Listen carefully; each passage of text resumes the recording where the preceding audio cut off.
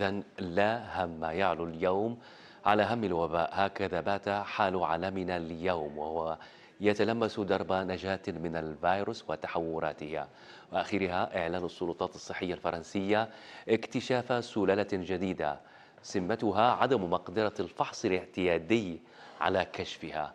هذا الكشف الفرنسي غير المحمود يأتي في وقت تشهد فيه أوروبا موجة ثالثة مصحوبة بمخاوف تعثر برامج التطعيم.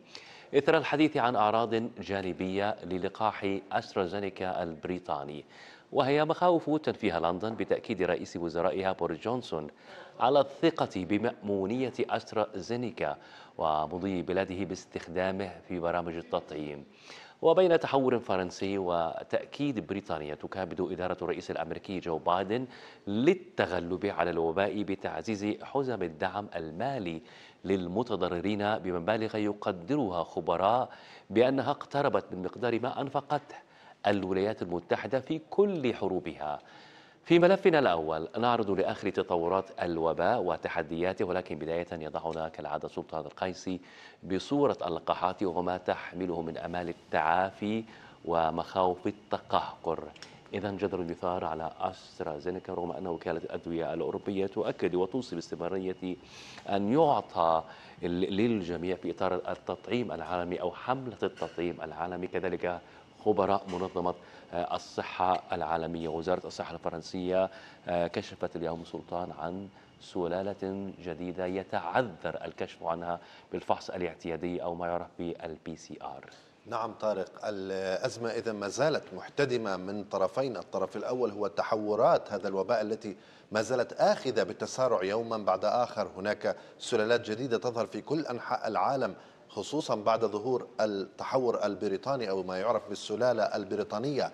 من الجانب الآخر هناك مخاوف تتعاظم من لقاحات تم اعتمادها سابقا. وهنا نتحدث عن أسترازينيكا ولكن ثمة أدلة علمية قاطعة على مأمونية هذا المطعوم وهو ما يطرح أسئلة عديدة. سنحاول الإجابة عنها معا. الأزمات التي انبثقت من كل مكان بعد التوصل إلى لقاحات ناجعة في مواجهة فيروس كورونا ليست أقل بكثير من تفشي الفيروس نفسه خصوصا وأن لكل منها أسبابا يصعب تجاوزها من الحقائق العلمية إلى المؤشرات الاقتصادية ومرورا بالمضائق اللوجستية فيما تلعب السياسة في خلفية المشهد واحدة من ألعابها المكررة. سبع سنوات إذا ما يحتاجه العالم للتعافي. إذا نجح في تجنيب الخلافات والاستمرار على وتيرة واحدة في التلقيح. لعل أبرز تجارب التجارب المتعلقة بحملات التلقيح لهي التجربة الأمريكية. إذ توفرت في عهد بايدن الشروط جميعها فبعد أن جرت حملته لتطعيم 100 مليون أمريكي خلال 100 يوم كما أراد أعلن عن سلسلة خطوات لتسريع عمليات التلقيح في جميع الولايات كما أمر بالرفع التدريجي للقيود العمرية ليصبح التلقيح أو يصبح المطعوم متاحا لكل أمريكي بحلول الأول من أيار المقبل مشددا على أن المعركة أبعد ما تكون عن النهاية. وسط تحذيرات الأطباء من موجة ثالثة تضرب شواطئ الأطلسي الشرقية. أكثر من 300 مليون شخص حول العالم إذا تلقوا جرعات أو جرعات من لقاحات كورونا على اختلافها. في أوروبا وبرغم تقديم المفوضية الأوروبية طلبات شراء لما يزيد على مليار جرعة من اللقاحات المصرح باستعمالها في دول الاتحاد الأوروبي ثمة اعترافات بتردد المفوضية وأخطائها الاستراتيجية عند شراء تلك اللقاحات. تسببت في انزعاج أو انزعاج دول من مستوى التوزيع. وتنوي السلطات الأوروبية إطلاق خدمة جواز السفر الأخضر لتسهيل التنقل داخل بلدان الاتحاد قبل العطلة الصيفية وهو شهادة رقمية أو ورقية تؤكد أن حاملها تلقى اللقاح أو أصيب وتعافى. وبتعدد أنواع اللقاحات يفاضل بعض الأشخاص والجهات أحيانا بينهما. إلا أن رأيا علميا وازنا يقول بأن اللقاح الجيد هو اللقاح المتوفر في ظل موجات التفشي الواسعة التي يشهدها العالم وتهدد الأنظمة الصحية. وفي هذه الأوقات أعلنت حوالي 15 دولة أوروبية عن تعليق استخدام لقاح أسترازينيكا أوكسفورد البريطاني لتسببها بتجلطات لدى عدد محدود من متلقيه. في حين أكدت الوكالة الأوروبية للأدوية قناعتها التامة بفوائد أسترازينيكا. في ضوء إحصاءات تقول إن 17 مليون شخص تلقوا اللقاح مقابل 37 تقريرا فقط وردت عن مشكلات تفيد بحدوث جلطات دموية. رئيس الوزراء البريطاني بوريس جونسون قاطع الحديث العالمي حول مشكلات لقاح أسترازينيكا بخطاب قال فيه إن جميع البحوث تفيد بأن اللقاح آمن في تدخل بدا مفاجئا إلى حد ما. خصوصا مع ظهور تقارير ذكرت بأن التخلي الأوروبي عن اللقاح البريطاني يرتبط بشكل ما بخروج بريطانيا من الاتحاد الأوروبي وما خلفه ذلك من آثار على على اقتصاد الاتحاد. وبالاتجاه شرقا فإن اللقاح الروسي سبوتنيك في يواصل بسط نفوذه على نطاق واسع تجاوز الحديقة الخلفية لروسيا. وهنا يبرز السؤال المتعلق بدور السياسة في تصدير اللقاحات. أو إسقاطها وفقا للتوافقات والخلافات. إذا طارق يعني ما زالت التقارير تؤكد سلامة المطعوم أو اللقاح البريطاني أسترازينيكا أوكسفورد وهذا أهم ما في الموضوع بالنسبة إلى الناس. اليوم وهم يتجهون إلى مراكز التلقيح في كل مناطق العالم ويعني تقدم لهم السلطات هذا اللقاح. فهذا السؤال ربما الأهم الذي يشغل بال آه، أغلب الناس في جميع أنحاء العالم. ولكن هناك تقارير أيضا تفيد بأن قد يكون هناك أسباب سياسية واقتصادية متعلقة بإحجام دول أوروبية عن اللقاح البريطاني وتربط ذلك ببريكسيت وما تركه من أعباء اقتصادية على الاتحاد. لكن العلم دائما ما يتدخل كما ذكرنا وكالة الأدوية الأوروبية ربما ستحسم الجدل قريبا لكنها ما زالت توصي باستخدامه كذلك خبراء منظمة الصحة العالمية البيانات المتوفرة عن الشركة النسبة ما بين ما وقع من تجلطات آه، ومضاعفات جانبية إلى ملايين ممن تلقوا هذا آه، المطعوم إلى جانب مطاعيم أخرى. وأيضا في هذا الإطار ليس ثمة لقاح أو علاج أو أدوية دون ما أن يكون له آثار جانبية. سلطان القيسي أنا دائما أشكرك على كل هذه المعلومات والإيضاحات. سنذهب الآن مباشرة للمزيد من النقاش والتحليل والفهم العلمي من أطباء نستضيفهم الآن لإلقاء الضوء على أسترازينيكا على المجريات القائمة حاليا على اللقاحات على تفشي الوباء على المنحيات الوبائية. وأين نحن في هذا العالم من التصدي لهذا الوباء الشرس؟ شكرا لك سلطان القيسي.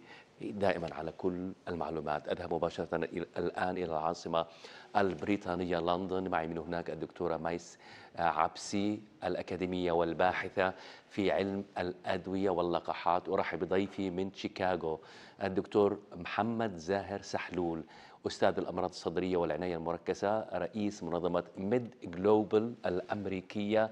كذلك من ليون الفرنسية الدكتور يحيى مكي رئيس قسم الفيروسات التنفسية والسرطانية بالمعهد الطبي الفرنسي. أهلا بكم. آه، جميعا. دكتورة مايس من لندن سأبدأ معك. أسترازينيكا اوكسفورد آه، يثير جدل. هناك أكثر من دولة أوروبية قامت بتعليق مؤقت لاستخدام هذا اللقاح. هل الأمر من وجهة نظرك دكتور مايس آه، مبالغ فيه أم أن اليقظه من اللقاحات لها ما يبررها؟ مساء الخير وشكرا للاستضافة وشكرا للي عم بتابعنا ولضيوفك الكرام دكتور محمد ودكتور يحيى. الآن بالنسبة للقاحات الشيء اللي عم نسمعه هذا بالعكس لازم يكون مطمئن للناس لحتى يعرفوا إن موضوع مراقبة اللقاحات مراقبه شديدة جدا وما فيها ما فيها أي تهاون، لازم نعرف انه اللقاحات آه، مرت طبعا بتجارب سريرية أولى وثانية وثالثة ولو نحكي عن لقاح استرازينيكا أو لقاح اوكسفورد مر بالتجربة السريرية الثالثة. تضمنت تقريبا 60 ألف شخص.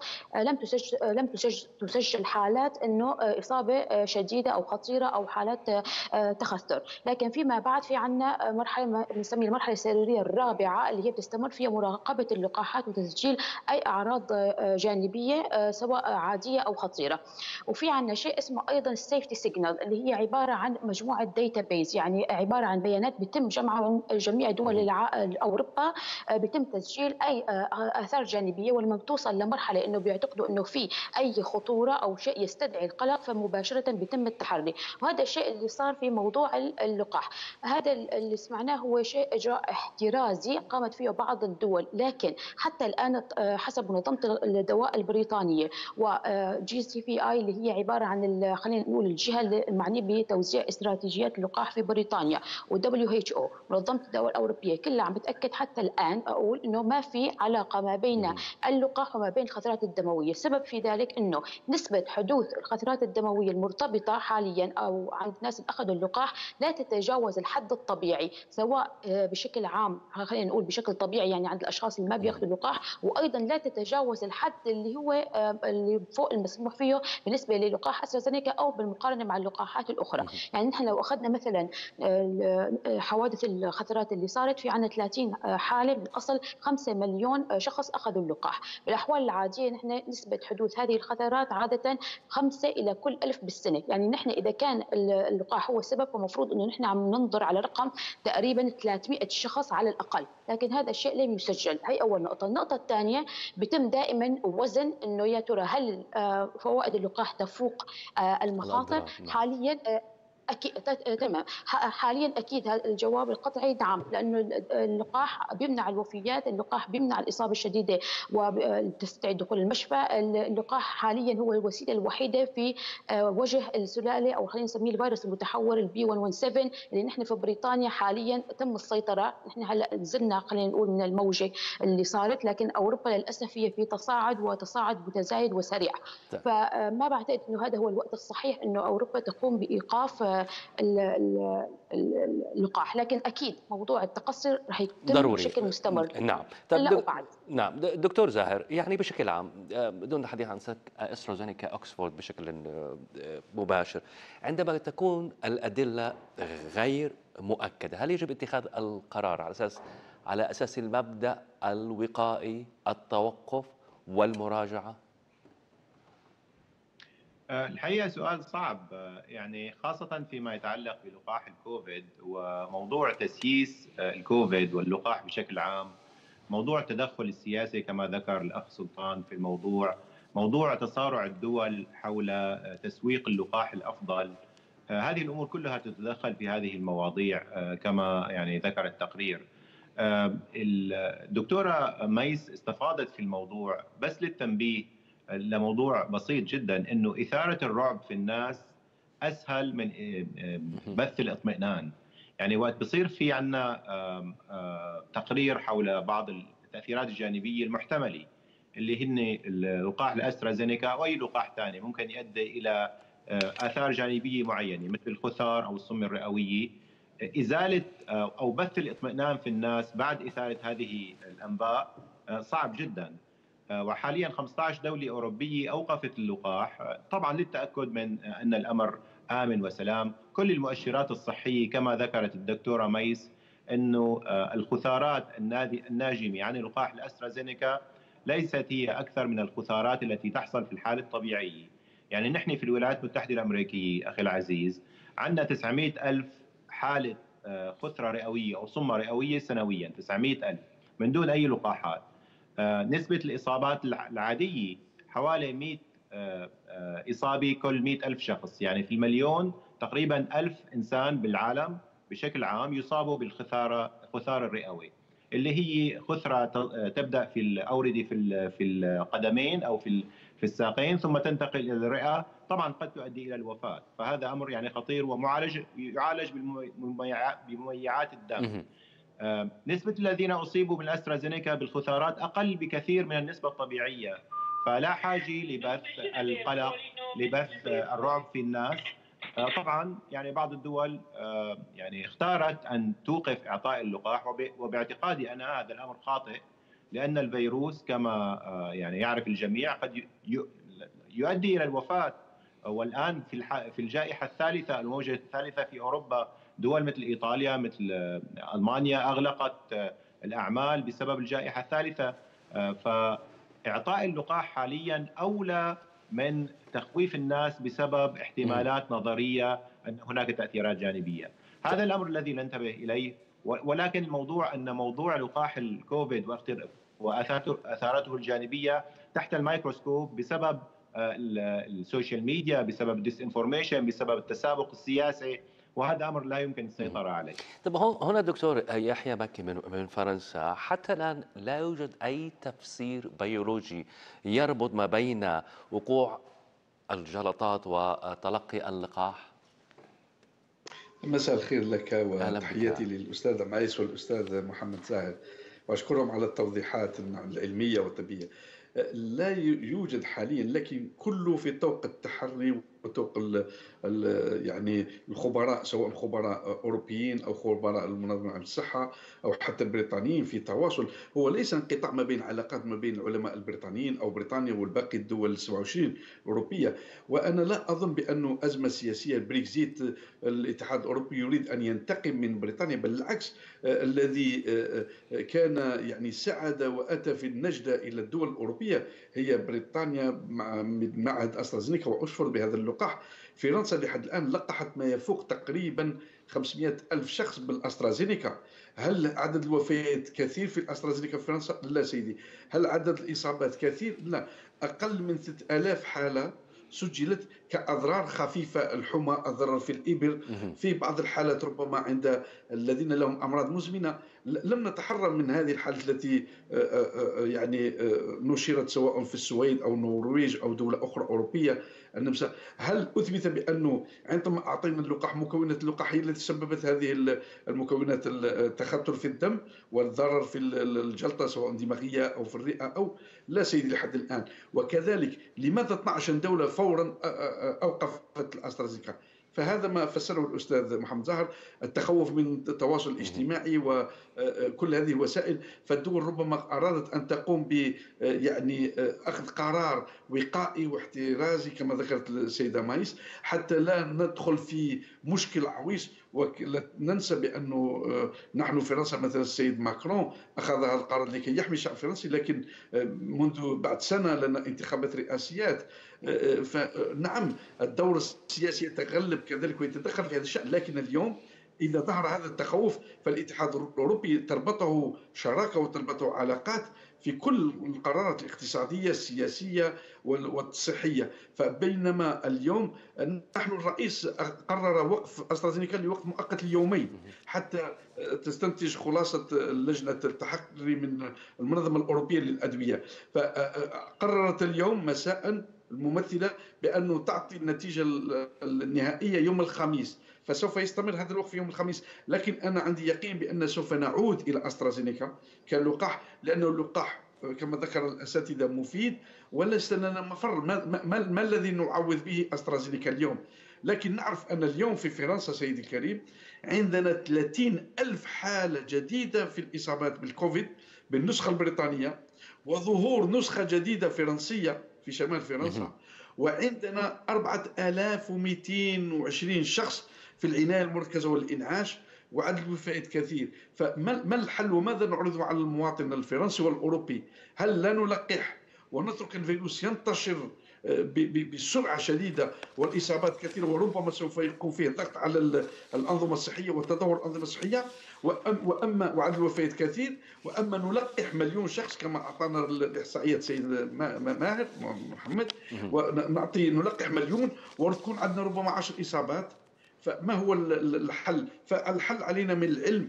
وأقل الضررين. أقل الضررين هو نلقح ونجعل مراقبة دوائية يعني قريبة جدا وقوية حتى نحمي الأشخاص الملقحين. طب طب دكتور يحيى على ضوء ما ذكرته في موضوع الاكتشاف سلالة جديدة في في فرنسا اليوم فحص ال PCR الاعتيادي أظهر نتائج سلبية لدى عدة من المرضى. هل هذا يعني لابد من فحص أكثر عمقا ودقة أخذ عينات ربما من الدم أو عينات من عمق الجهاز التنفسي. أحسنت. هو آخر إجابتك هي الأحسن. نحن عندنا خبرة سيدي الكريم في المخابر الفيرولوجيا أنا كنت سنويا كل عندما يعودون المعتمرين من مكة والمدينة المنورة أو الحجيج كان عندنا السن كل مرة نقوم بالتحاليل وفي نفس البي نبحث تقريبا على سبعة أو عشر بكتيريا وثمانية أو عشر فيروسات وطفيليات في نفس التحاليل عن طريق الأنف. ومنذ سنين كنا نحرص أنا أنا ذاك الماس المتلازمة التنفسية الشرق التي تنتقل عن طريق الجمل. الكورونا فيروس وكنا نحسب فأنا ذاك وجدنا فيه أشخاص في الأنف والحنجرة. لا نجد الفيروس لكن في الخلايا في القصبات في الرئة العمق نجد الفيروس موجود ويتكاثر ببطء وفيه المرض فهذه عندنا الخبرة. بالنسبة لهذه النسخة الفرنسية الجديدة اللي اكتشفت وهو الفيروس من قسم 20 C لأنه في أقسام. 20 يعني من نوع 2000 سنة 2000 لكن هو في القسم C. فالتغير هو أنه تغير فيه تم تغيرات في البروتين هذه الغلافية ال spike ال S spike نعم. spike نعم. ففي تقريبا تم تغيرات في نفس المكون. فحاليا هو كذلك في طور الدراسة في معهد باستور في باريس. لأن المخبر الذي أنا أعمل فيه نحن الذي حددنا في المخبر ولنا منشور علمي بأن التغير النسخة البريطانية بأنها دخلت أوروبا لكن هذه النسخة الفرنسية محضة.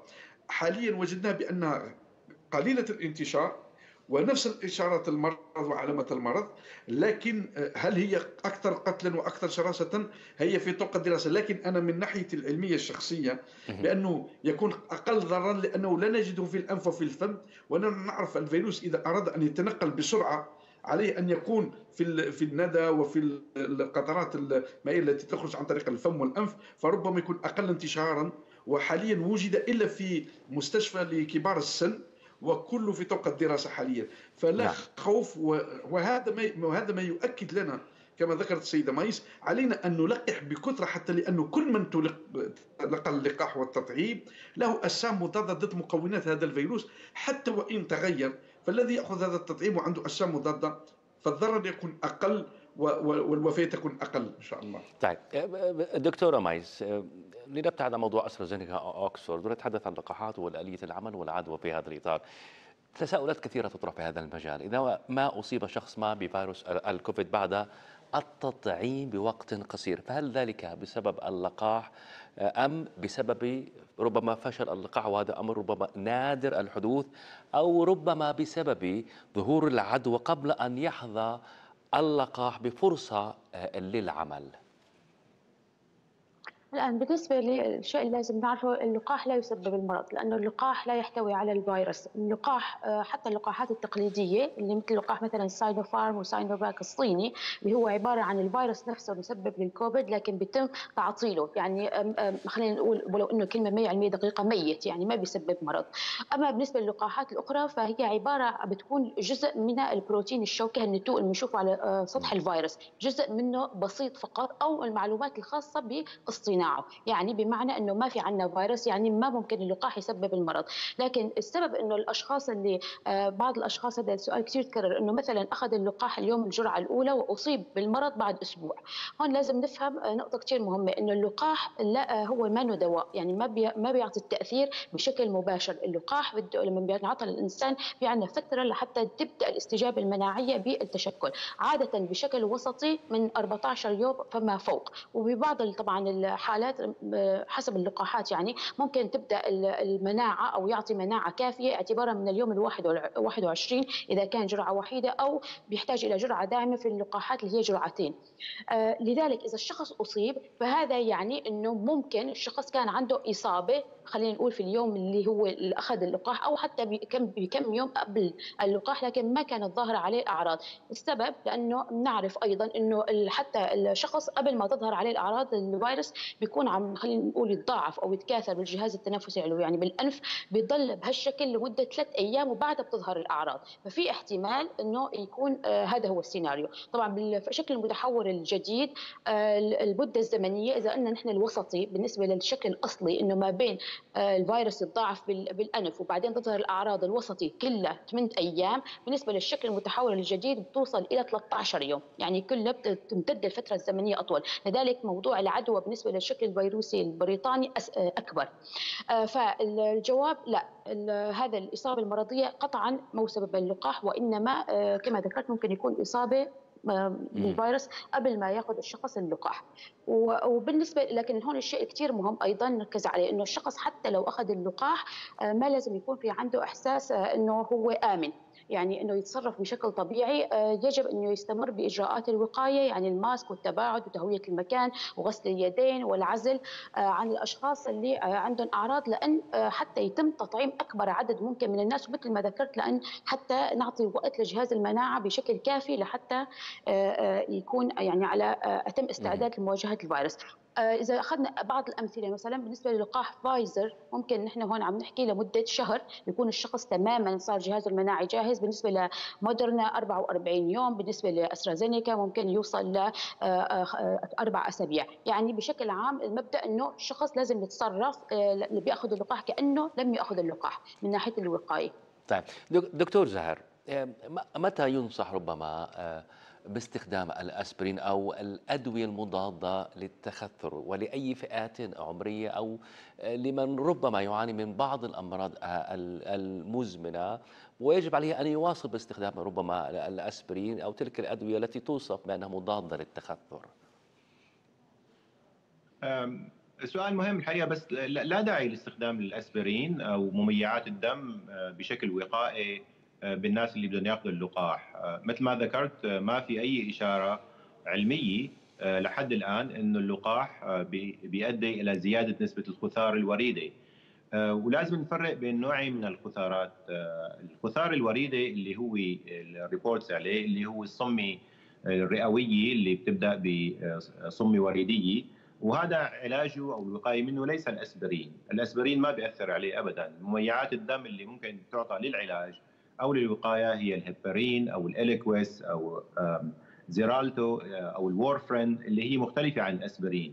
الخثار اللي آه، بتتكلم عنه آه، أخي العزيز طارق هو الخثار الشرياني اللي بصير وقت بصير الإنسان عنده جلطة في القلب أو جلطة في الدماغ فبيعطوا أسبرين لمنع التجلط مرة ثانية وهذا ما موجود حاليا أو ما لا يشار له في كتأثير جانبي في الحالات اللي ذكرت في الأسترازينيكا.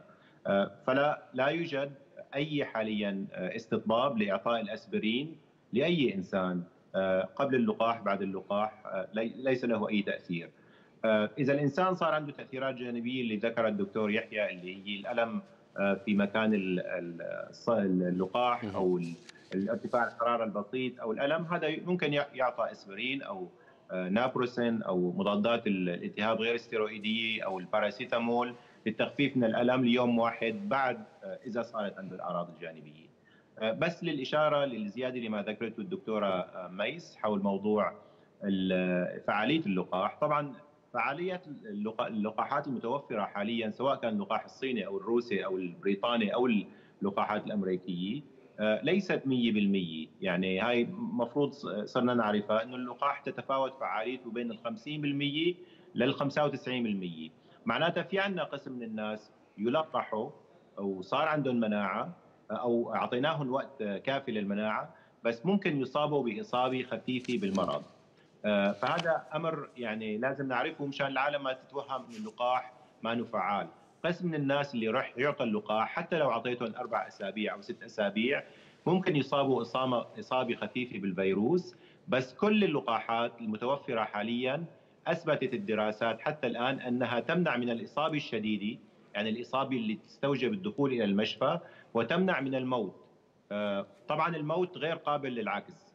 التأثيرات الجانبية للقاحات تأثيرات احتمالية وكلها قابله للعكس فإذا خير الإنسان بين الموت أو بين اللقاح طبعا المفروض انه يختار اللقاح. وأي لقاح متوفر هو لقاح جيد كما ذكر التقرير. نعم.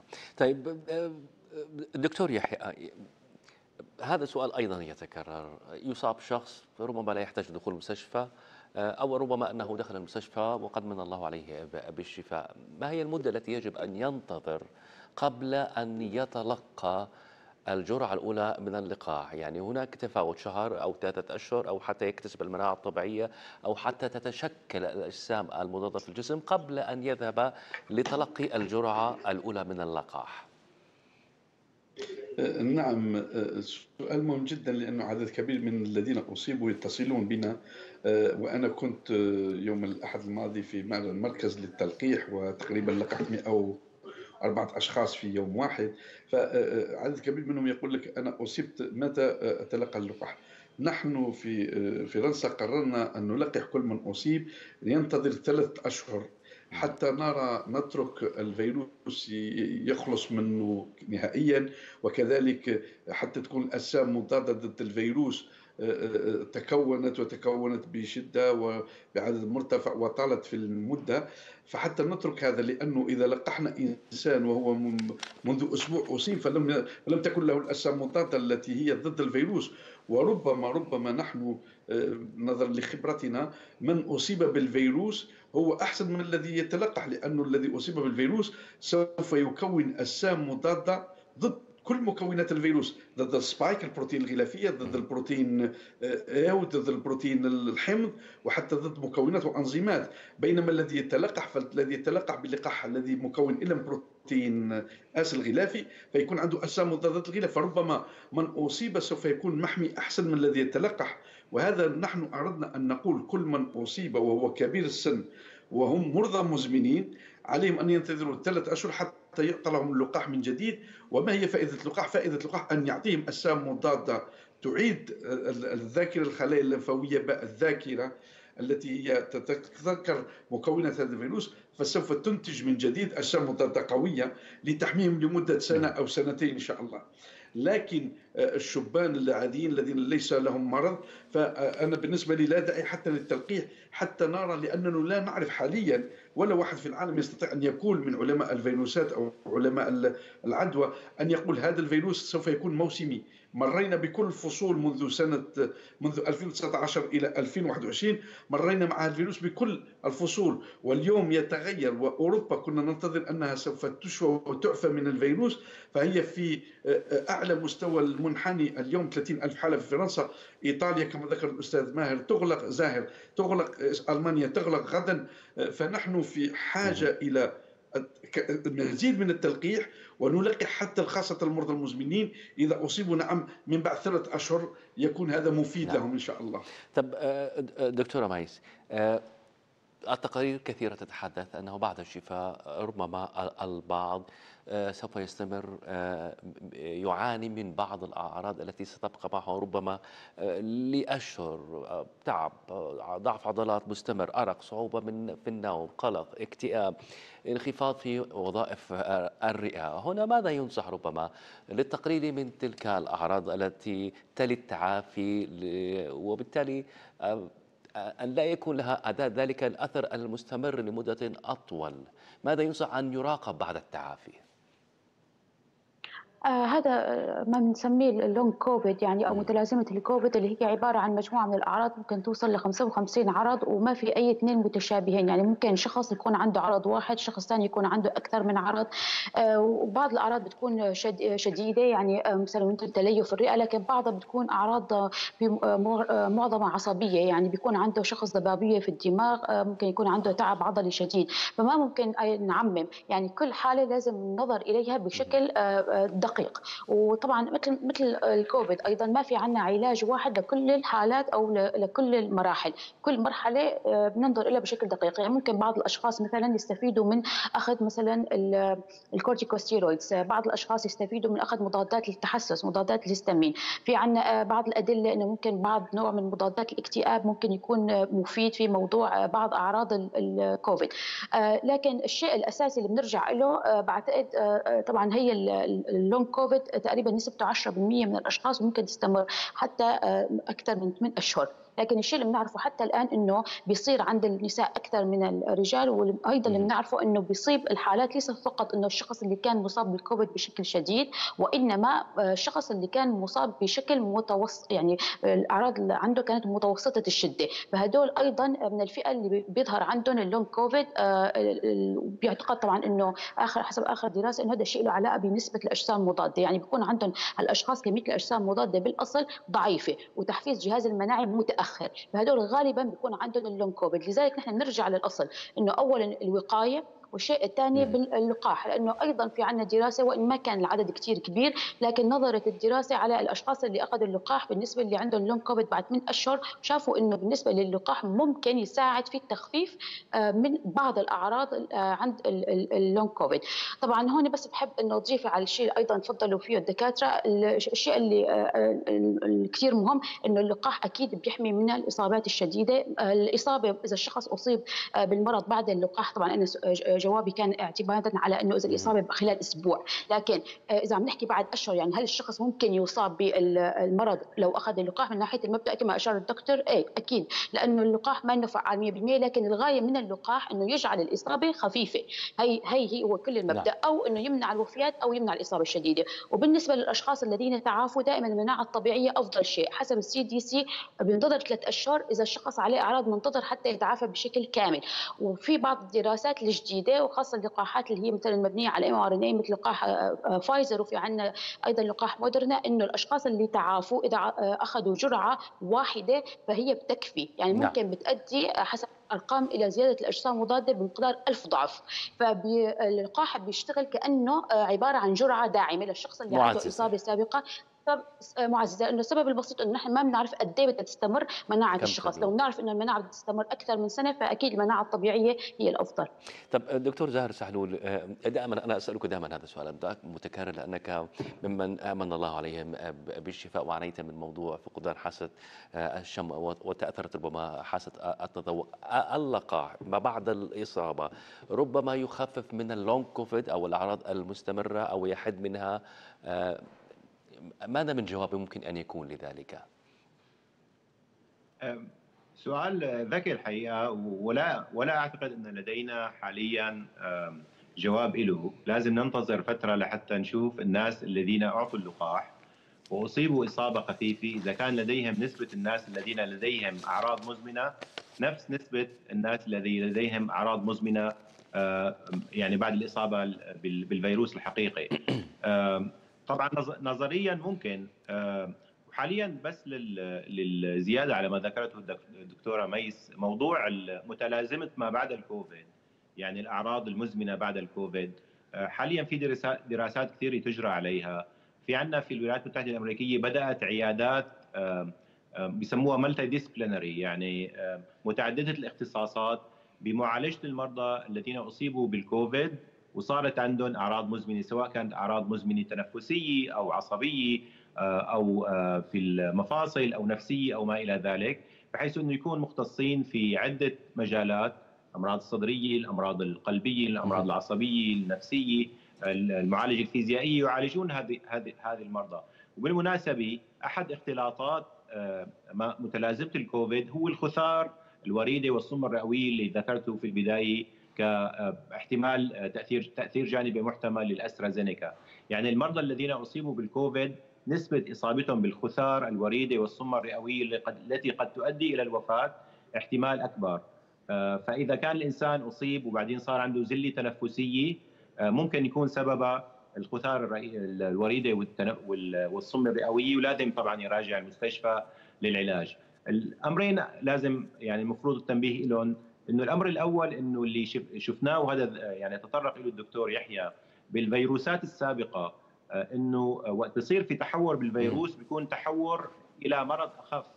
اللي عم نشوفه حاليا في فيروس الكورونا وهذا أمر مختلف عن الفيروسات السابقة أن التحور إلى مرض أشد أكثر انتشارا وأكثر فوعه فهذا طبعا أنا ما بدي يعني يدب الذعر بين الناس آه، مثير للقلق آه، لهذا التحور. وهذا المفروض إنه يشجع الحكومات والدول والناس على أخذ اللقاح لأنه هذا الطريقة الوحيدة لحماية النفس من التحورات الأكثر فوعة التي قد تؤدي إلى أكثر انتشار للفيروس نعم. وإلى أكثر آه، انتشار للمرض.